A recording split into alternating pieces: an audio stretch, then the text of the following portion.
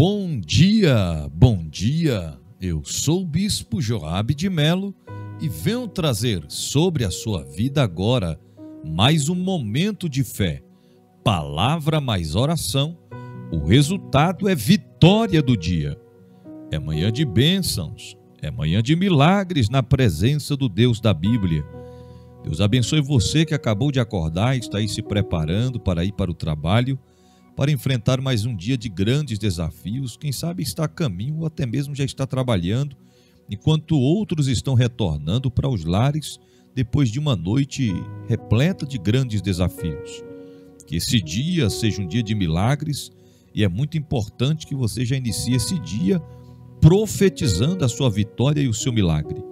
Por mais difícil que seja a situação que você está vivendo, enfrentando, você precisa confiar em Deus. Você não pode desistir. Lembre-se que quando nós colocamos a nossa fé e a nossa confiança no Senhor, Ele cuida de todos os detalhes da nossa vida. Fique comigo até o final deste momento de fé, pois eu tenho uma palavra da parte de Deus para o teu coração antes de estar orando por você e por sua família nesse dia. Mas antes de nós estarmos meditando na palavra desse dia, eu quero convidar a você, juntamente com sua família e amigos que ainda não são inscritos em nosso canal, a se inscrever agora, a ativar o sininho das notificações e clicar em todos, para que todas as vezes que nós entrarmos com mais um momento de fé, você receba a notificação e participe conosco. Deixe o seu joinha, o like para fortalecer o canal e escreva nos comentários abaixo o seu nome, o nome de sua família, o seu pedido de oração. Em qual área da sua vida você precisa, necessita de um milagre urgente, nós estaremos orando e clamando por você. Também escreva a palavra profética, palavra mais oração. O resultado é vitória Assim você estará profetizando que após este momento de palavra mais oração, o resultado da parte de Deus para a sua vida e família em todas as áreas e sentidos será de grandes vitórias na presença do Deus da Bíblia. Vamos meditar na palavra desse dia. Números capítulo 6, versículo 24 ao 26. O Senhor te abençoe e te guarde. O Senhor faça resplandecer o seu rosto sobre ti e tenha misericórdia de ti. O Senhor sobre ti levante o seu rosto e te dê a paz. Queridos, que palavra poderosa! Nós encontramos algo profético da parte de Deus para as nossas vidas. Estas palavras estão frisando claramente que o Senhor está com suas mãos estendidas sobre nós. Você não está sozinho, sozinha diante desta batalha. Nós profetizamos nesta manhã sobre a sua vida, sobre a sua vida, sobre a sua família, sobre o seu lar. Que o Senhor te abençoe e te guarde. Que as bênçãos do Deus eterno venham sobre você. Que Deus venha suprir as tuas necessidades. Porque Deus conhece, Ele vai além das nossas limitações.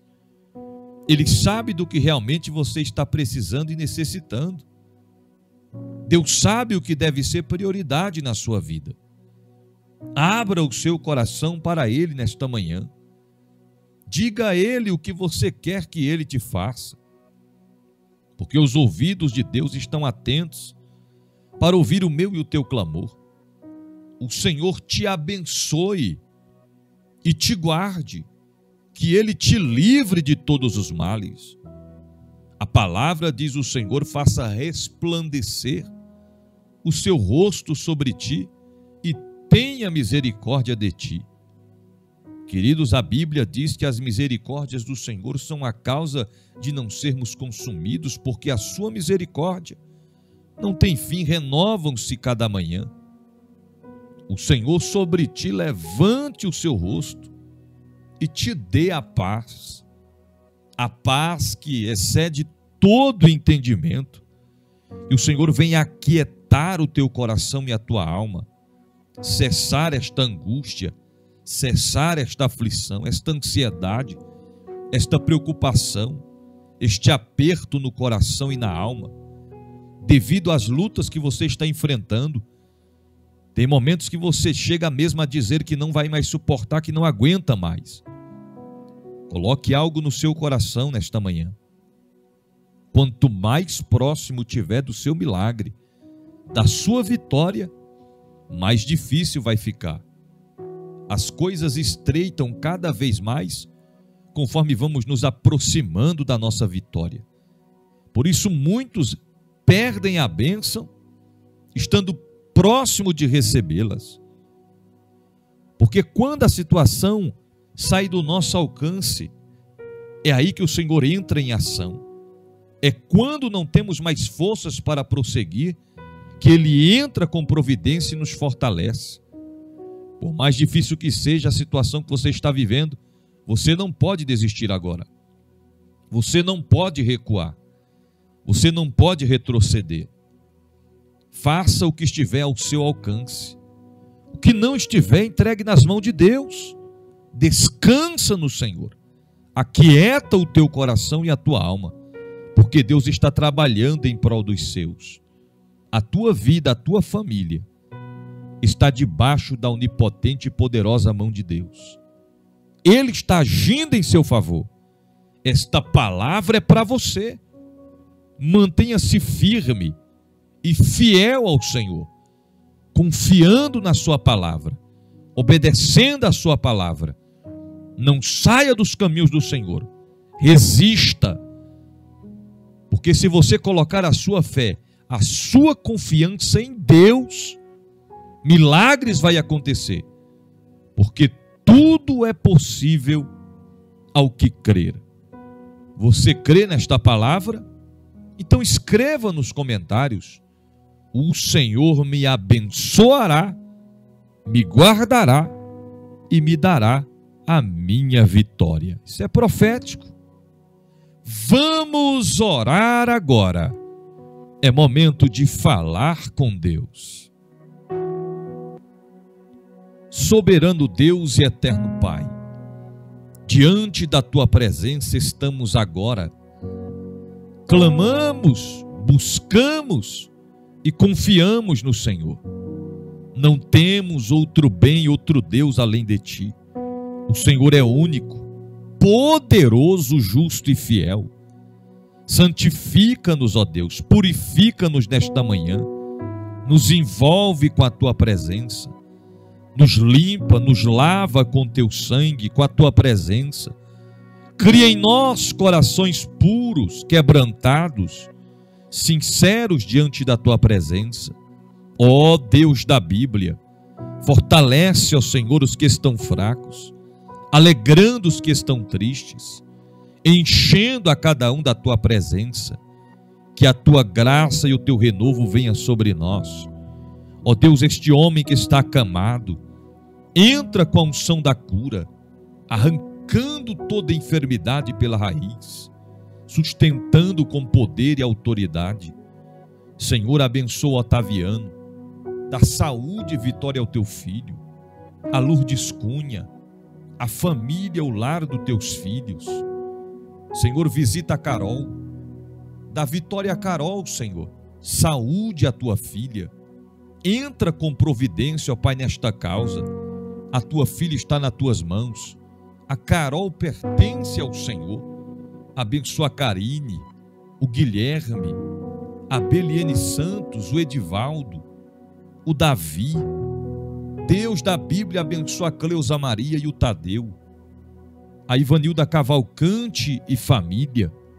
Senhor, abençoa, entra com providência na vida do Rinaldo, Alcântara de Oliveira e família. Senhor, abençoa a Josefa Alcântara de Lira. Deus de livramento abençoa a Edmilza Braga e família.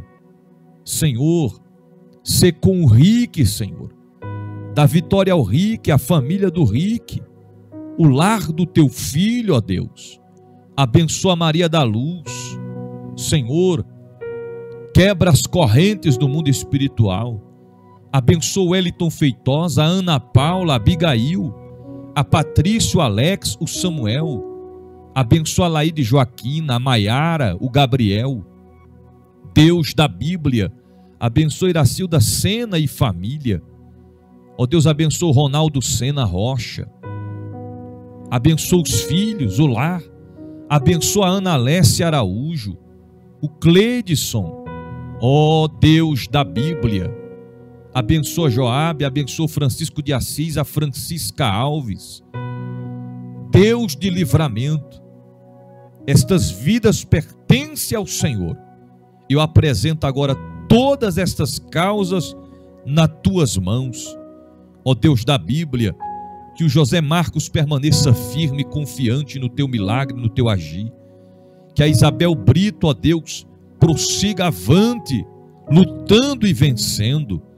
Deus da Bíblia, abençoa, ó Deus, abençoa, Senhor, derramando da tua graça e do teu livramento. Abençoa José Alberto, Jones Alberto Pereira e família. Deus da Bíblia abençoa a Cátia Florentino, abençoa a Antônia, a Diele, a Deise e a Daiane. Senhor, abençoa a Benedita, o Antônio o João Vitor. Eu ministro as tuas bênçãos sobre estas famílias. Em o nome do Senhor Jesus. Amém e amém. Você pode dizer amém? Compartilhe este momento de fé com alguém que você tanto ama e não se esqueça que palavra mais oração, o resultado é vitória.